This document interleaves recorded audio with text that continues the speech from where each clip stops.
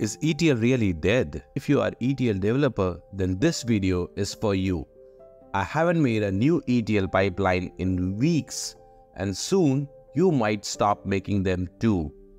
The ETL pipeline is built to extract, transform, load data from various sources into your data warehouse.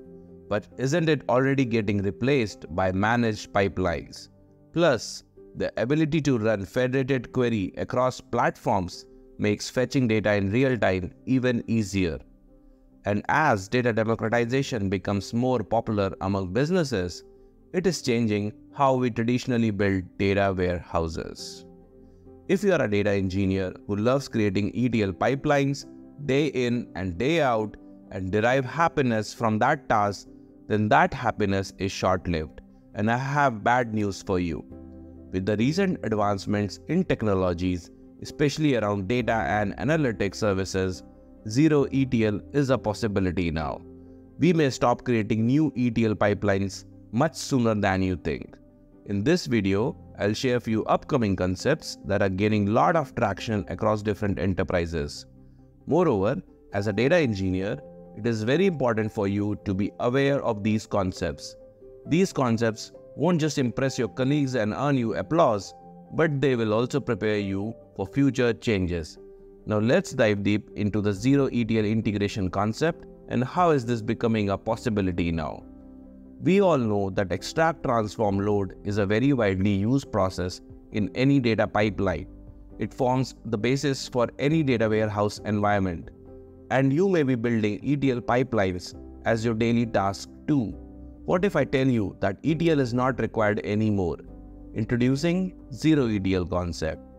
In Zero ETL concept, the ETL steps in traditional pipelines are not required anymore. These steps are replaced by managed pipelines.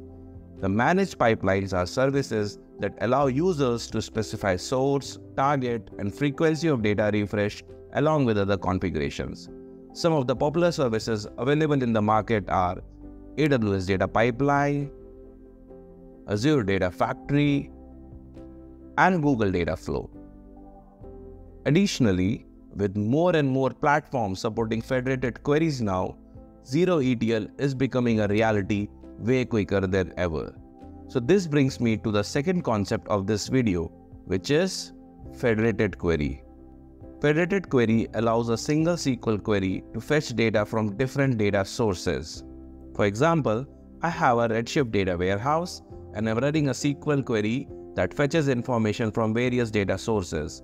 It is possible to fetch data from Amazon RDS, Amazon Aurora, Amazon DynamoDB, Amazon S3, all from a single SQL query.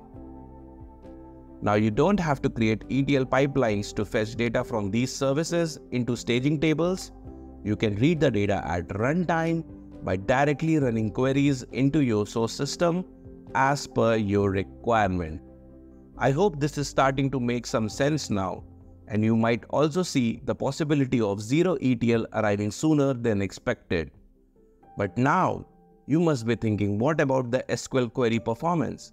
When I bring the data as part of ETL process, the data resides in my local tables.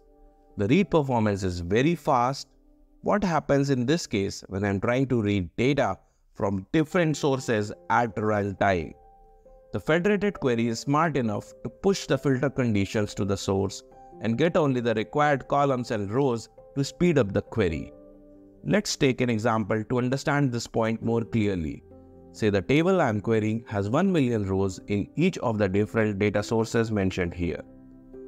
So Amazon RDS table has 1 million rows with 10 columns, Amazon Aurora has 1 million rows with 25 columns, Amazon DynamoDB has 1 million rows with 32 columns, and Amazon S3 has 1 million rows with 40 columns in it.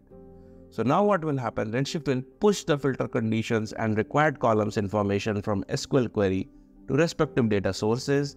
Each data source will work on the information received as part of SQL query and will return only the required number of rows and columns back to Redshift.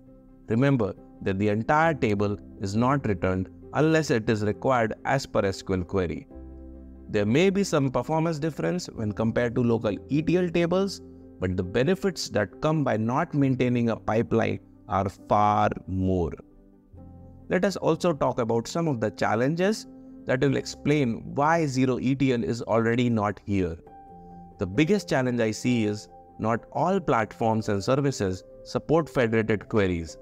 So till the time SQL queries become compatible across different platforms, we may see some delay in Zero ETL becoming the new norm. This brings me to the third point of the video which is data democratization. It is a very important concept that indirectly pushes for Zero ETL. I'll explain it with an example. Say you are working for a client and the business users want a report to support a decision. However, the business user is dependent on data engineers to provide data required for report and analysis. As a data engineer, you will work hard to get all the data and generate a report to be shared with the business user as per the request. Once you share the report with business users, the task is done and everyone is happy. However, this dependency of business users on data engineers sometimes results in delays. This gives way to the concept of data democratization.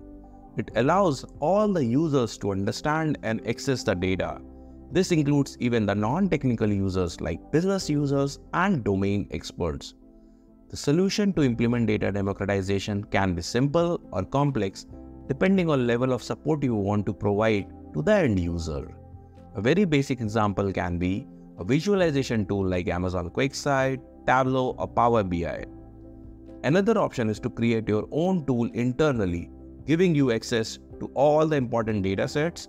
You need to manage data governance carefully to ensure only authorized users can access the correct data.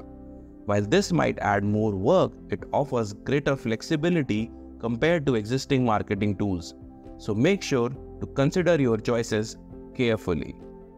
Let's do a quick recap of all the good things we have learned in this video. ETL is without a doubt most important concept in any data pipeline. However, zero ETL is a reality too and is gaining popularity very quickly. Things supporting zero ETL are managed pipelines and federated querying on technical front and data democratization on the business front. So now tell me, did you already knew about these concepts or did you learn something new today? If you enjoyed this video and are watching it till here, please like the video, drop a comment as it helps with the YouTube algorithm.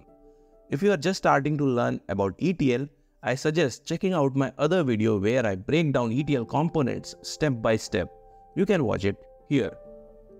Additionally, I have experimented with a fresh presentation style for explaining ETL concepts in this video. I would love to hear your thoughts in the comments. Your feedback helps me understand if this approach resonates with you